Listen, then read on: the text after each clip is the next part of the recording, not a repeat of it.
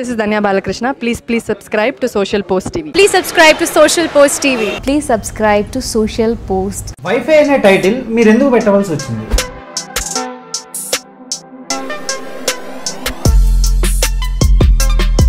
మీ విషయానికి వస్తే మన ట్రైలర్లో చూసాం. ఒక సీన్లో చూస్తే హీరోయిన్కి జాకెట్ లేదు. Hmm. అంటే ఆ సీన్ అనేది కథ డిమాండ్ చేసిందా లేదా మీరే డిమాండ్ చేశారా?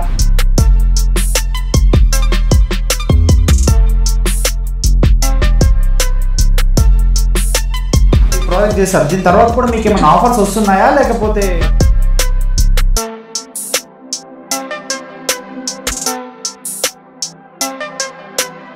సో ఇలాంటి మూవీస్ చూడడం వల్ల ఇలా అవుతుంది అంటున్నారు సో ఇప్పుడు మీరు ఈ మూవీతోని పబ్లిక్ ఏం మెసేజ్ ఇవ్వబోతున్నారు ఈ సినిమా చూసేసి పబ్లిక్ రేపు ఎందుకు చేస్తారు సార్ అట్లా మీరు ఇప్పుడు ఏమైనా చేశారు అట్లా